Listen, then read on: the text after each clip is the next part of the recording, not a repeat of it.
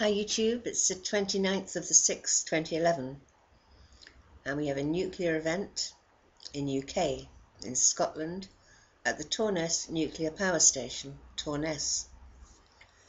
And it is an event exciting a massive jellyfish invasion. Damage level is moderate level 2. Masses of jellyfish entering the Torness nuclear plant's cooling water inflow area led EDF Energy to shut down both units there manually on Tuesday, the company said. This is temporary and the reactors will be restarted once the jellyfish situation subsides. A spokesman for EDF Energy said. The two 640 megawatt units in Scotland went offline on Tuesday afternoon, national data grids show. The presence of jellyfish, seaweed, and other marine life is not uncommon at nuclear power plants, they said.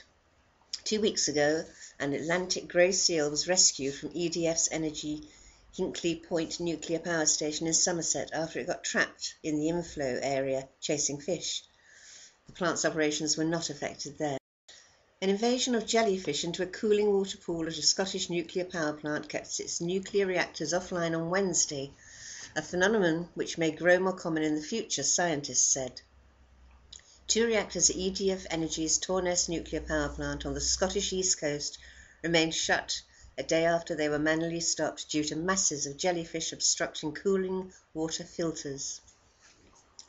Nuclear power plants draw water from nearby seas or rivers to cool down their reactors, but if filters which keep out marine animals and seaweed are clogged, the station shut down to maintain temperature and safety standards.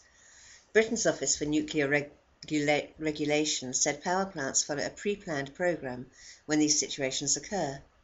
Latest plant availability data from network operator National Grid showed Torness Reactor 1 would return to service on July 5th and Reactor 2 on July 6, but operator EDF Energy was unable to give a restart date.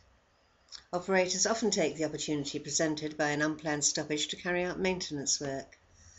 We are working to clear the jellyfish from the waters near the power station. And I'm going to give you the link to the article because it's a long one, and it's quite interesting. So, jellyfish stop play.